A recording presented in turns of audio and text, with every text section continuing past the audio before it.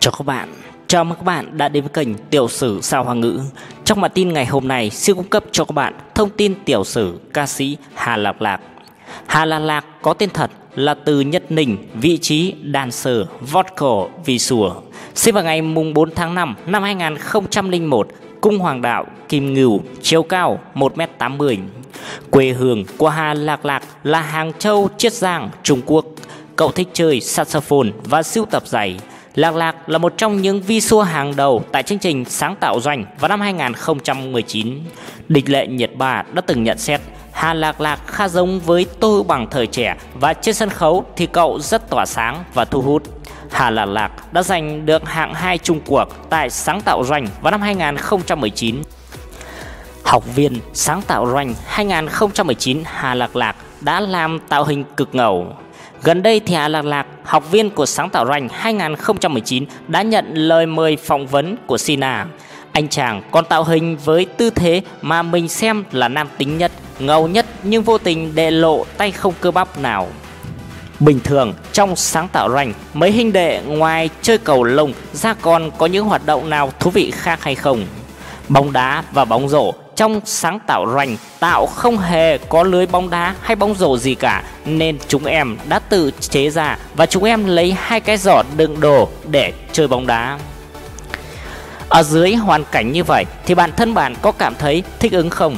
Lúc đầu thì em không thích ứng được, nhưng từ từ cũng ổn.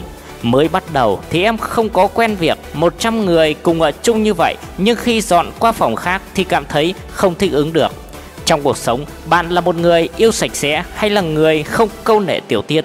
Em là người theo kiểu một người khác sạch sẽ Còn mình thì không sạch sẽ. Ví dụ như giường mình nằm có thể lộn xộn tùm lum lên hết Nhưng giường của người khác thì phải thật là sạch sẽ và gọn gàng.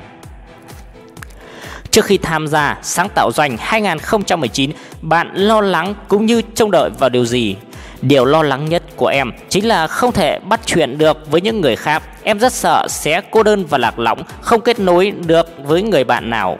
Em đối với người lạ có chút gì đó kiệm lời chắc vì xấu hổ Nhưng khi thân thiết rồi thì em sẽ khác đi Đến sáng tạo doanh 2019, mục tiêu của bạn mong muốn là đạt được gì? Mới đầu, khi đến với chương trình thì em không có dã tâm lớn lao gì cả. Bởi vì lúc đó em còn thi, Nhưng sau khi bước vào chương trình rồi Thì đột nhiên em cảm thấy có cảm giác gì đó rất lạ, Giống như có được một cỗ năng lượng phấn đấu và cố gắng vươn lên vậy. Có thần tượng nào mà bạn thích nhất không?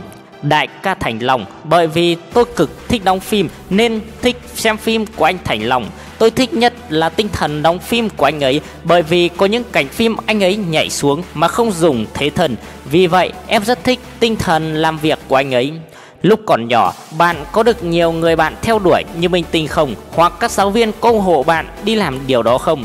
Không có, bởi vì lúc nhỏ thì em mập mập và đen đen. Đến năm sơ chung thì bắt đầu mới ốm dần.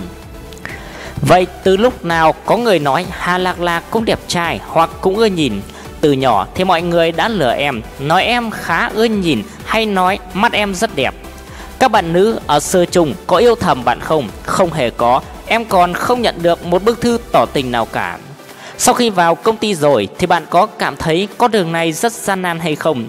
Có lúc em cũng có suy nghĩ qua như hay đặt câu hỏi tại sao mình phải cố gắng tiếp tục đi chứ? Vì lúc đó thời gian luyện tập rất là cực khổ, gian nan mệt mỏi. Nhưng khi em đứng lên trên sân khấu thì sự nhiệt tình của mọi người, sự yêu thích của mọi người dành cho mình Đã làm cho em nhận ra rằng em phải cố gắng bước tiếp, nỗ lực thật nhiều.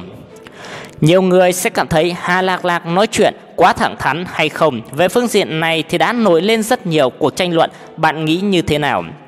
Rất nhiều người nói về điều này với em, Nhưng em cho họ thấy được rằng Em thật sự là một con người thành thật, Giống như một đứa con đít Có sao nói vậy? Không cần phải để hay giấu ở trong tim.